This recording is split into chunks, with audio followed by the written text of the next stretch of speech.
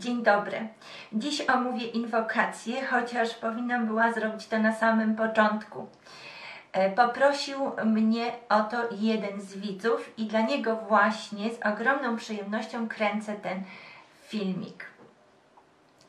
Inwokacja to rozbudowana apostrofa, czyli zwrot do konkretnego adresata. Tak rozpoczynały się e, eposy.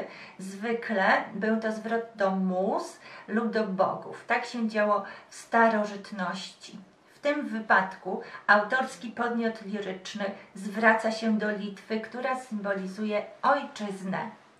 W ten sposób dokonuje on sakralizacji ojczyzny, idealizując ją pod wpływem dojmującej nostalgii.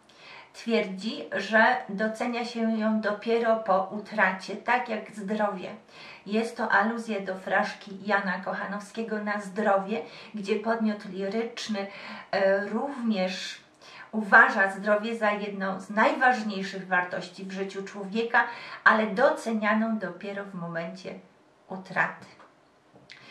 Potem podmiot liryczny zwraca się do Matki Boskiej, bo wspomina dzieciństwo, kiedy uratowała mu życie. Adam wypadł przez okno jako dziecko, a matka jego modliła się do Matki Boskiej o to, by darowane było życie jej synowi. Głęboko wierzyła, że Adam wyzdrowiał pod wpływem działania Matki e, Boskiej. Później e, zwraca się on e, również do Matki Boskiej Częstochowskiej, Matki Boskiej Ostrobramskiej oraz do patronki Nowogródzkiej. E, ostatecznie tłumaczy on proces twórczy, który dokonuje się pod wpływem e, ogromnej tęsknoty i miłości. Prosi Matkę Boską o to, aby przeniosła go chociaż w wyobraźni na ojczyzny łono.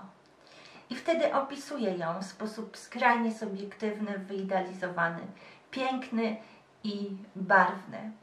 Ostatecznie przychodzi do opisu dworku szlacheckiego, który symbolizuje kulturę szlachecką.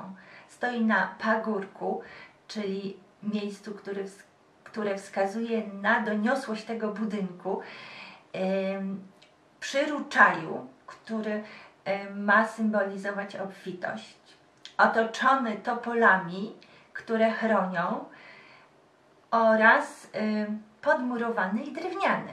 Podmurowany, czyli posiadający fundamenty, tradycję wielowiekową, tradycję szlachecką, drewniany, otwarty na nowoczesność.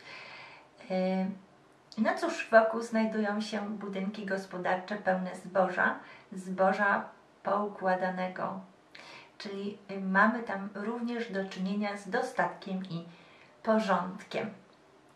Wszystko to wskazuje na fakt, iż utwór dyktowany jest ogromną miłością i tęsknotą, jest ucieczką y, w kraj lat dziecinnych pod wpływem wyobraźni y, i dotyczyć będzie kultury szlacheckiej. Tyle na temat inwokacji. Dziękuję Wam za uwagę. Do zobaczenia w następnych filmikach.